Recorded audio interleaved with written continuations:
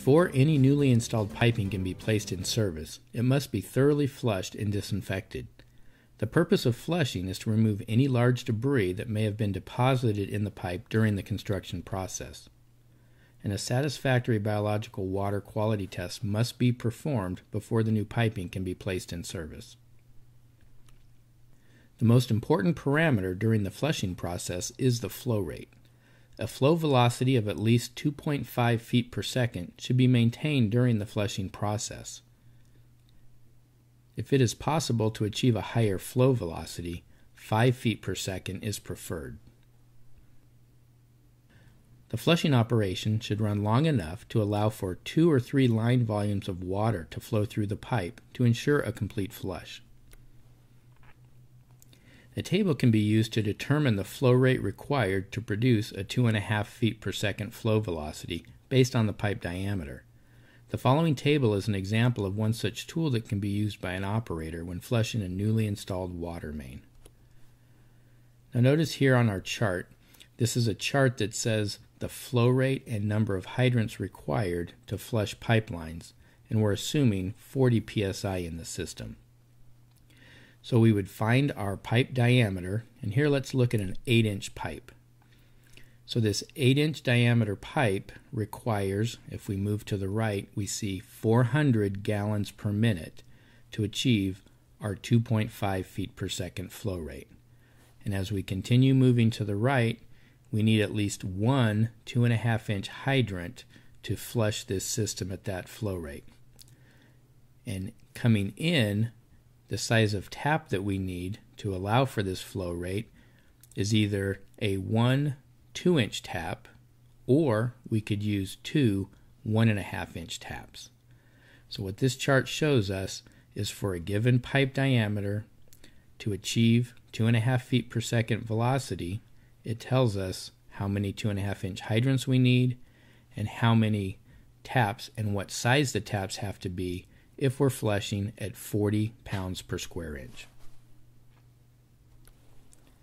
The disinfection of water mains is usually accomplished using chlorine compounds, and this comes in the form of calcium hypochlorite and sodium hypochlorite, and these compounds are used for smaller pipelines, or chlorine gas is used for larger applications. The chlorine must make contact with all interior piping surfaces during the disinfection process. The chlorine solution is usually injected into the system through a corporation stop nearest the connection point between the old and the new water main. During the disinfection process, it's important to ensure that the high chlorine concentration isn't leaking into the in service water system. The AWWA standard C651 covering the disinfection of water mains should be consulted for the appropriate chlorine dosage. As a rule, you'll want to dose the new piping so that there is a residual of at least 25 milligrams per liter at the end of the section being disinfected. Care must be taken to not dose at an excessive chlorine concentration, since this can damage mortar linings as well as brass fittings. To calculate the amount of chlorine to use for the disinfection process to achieve a 25 mg per liter residual, the disinfection standard has charts to assist the operator. The following two charts are an example of these.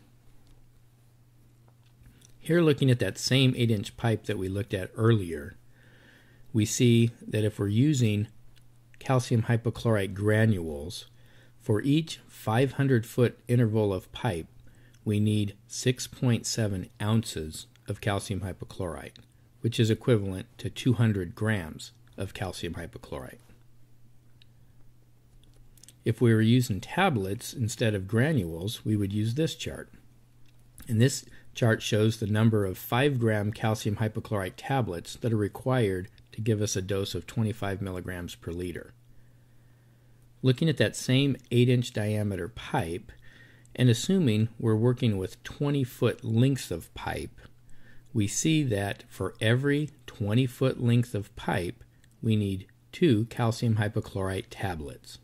So, to achieve our 25 milligrams per liter residual to disinfect an 8 inch diameter pipe, for every 20 foot length, we add two tablets.